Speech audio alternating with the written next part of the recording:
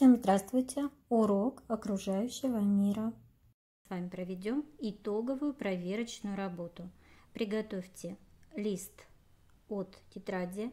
Вверху подпишите, напишите свою фамилию, имя, первый класс.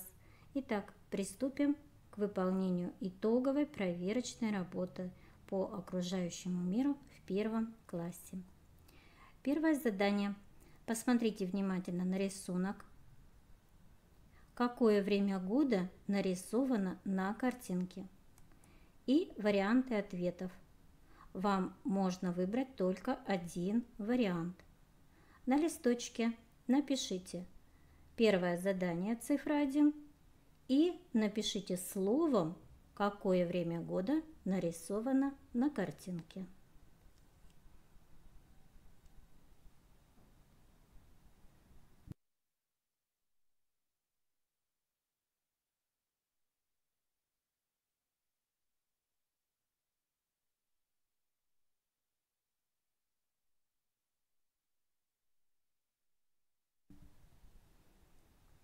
Следующее задание.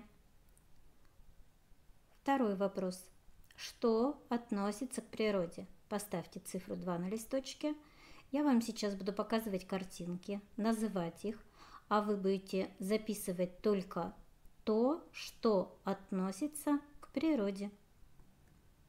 Горы, стекло, бабочка, ножницы, стул – солнышко, камень.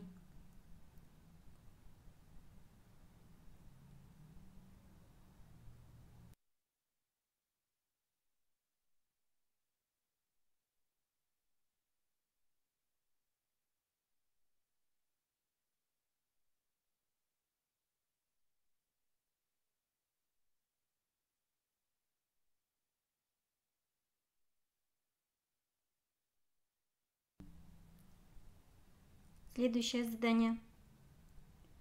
Цифра 3. Как называется обильное опадание листьев осенью? Вам нужно выбрать один вариант ответа. Осыпание, гниение, листопад, исчезновение. Напишите цифру 3 и рядом слово «Как называется обильное опадание листьев осенью?»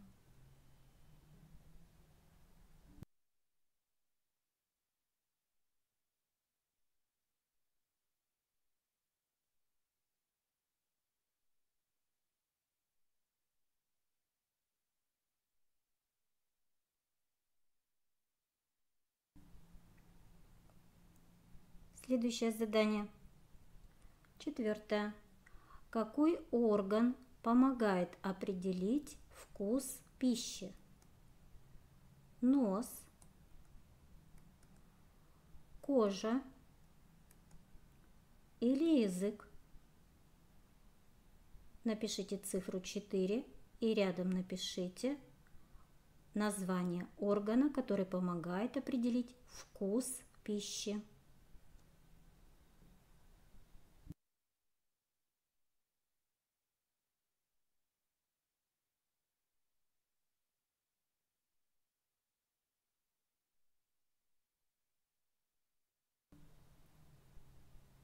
Следующее задание.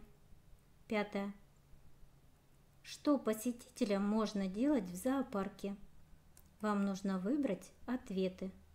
Кормить зверей, шуметь, смотреть на зверей. Напишите цифру 5 и рядом напишите, что посетителям можно делать в зоопарке.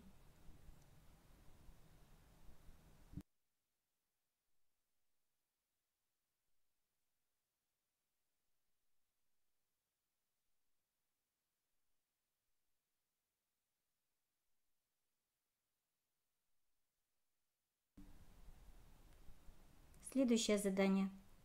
К какой группе относятся эти животные? Ежик, белка, мышка, лось. Поставьте цифру 6 и напишите, к какой группе относятся эти животные. Это рыбы, птицы, млекопитающие или земноводные.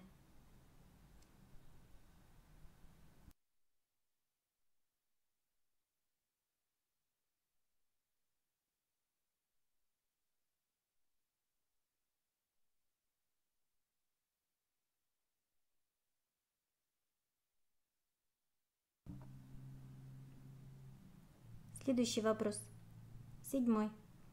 К какой группе относятся животные, у которых шесть конечностей?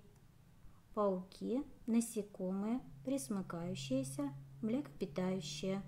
Напишите цифру 7, а рядом напишите, к какой группе относятся животные, у которых шесть конечностей.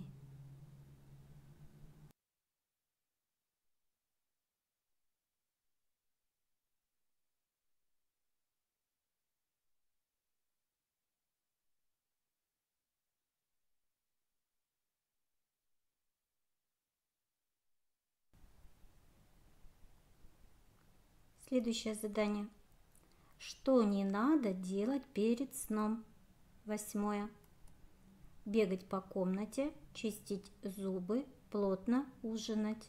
Напишите цифру 8, а рядом напишите, что не надо делать перед сном.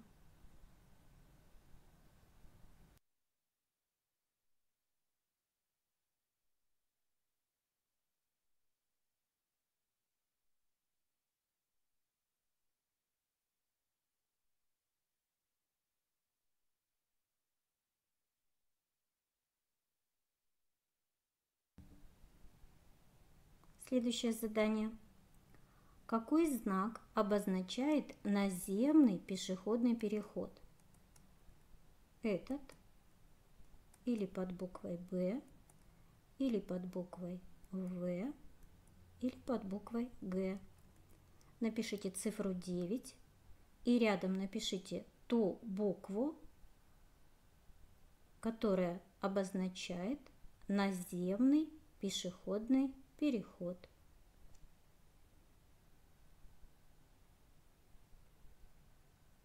Следующее задание.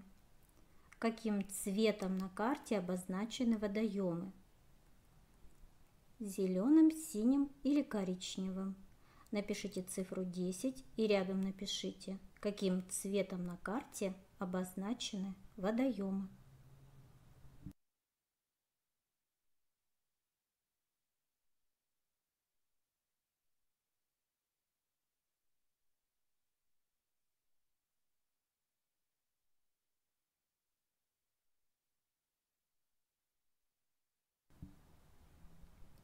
Следующее задание. Продолжи предложение. Я живу в стране.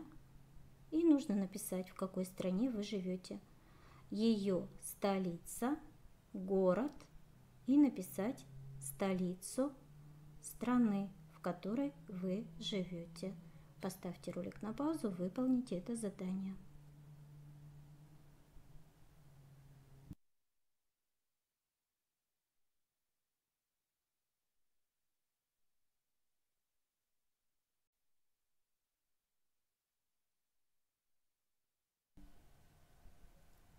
Следующее задание.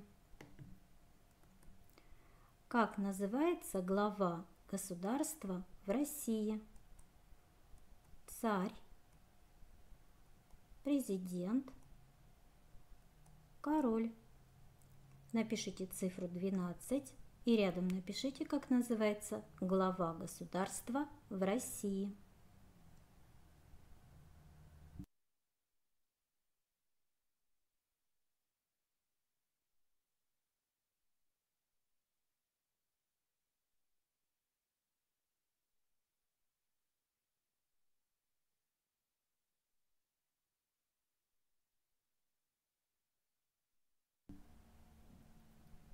Следующее задание. Нужно раскрасить флаг России. Нарисуйте прямоугольник, разделите его на три равные части и в соответствии с тем, какие цвета на флаге России, раскрасьте свой прямоугольник. Сверху подпишите, что это Россия.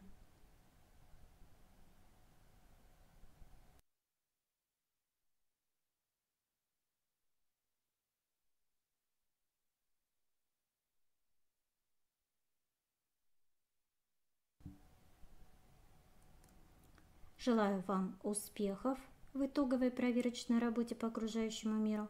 С вами вместо репетитора была Ирина Викторовна. Подписывайтесь на мой канал, пишите комментарии, ставьте лайки, Делитесь этим роликом в социальных сетях и родительских группах. Всего вам самого доброго. До новых встреч, друзья!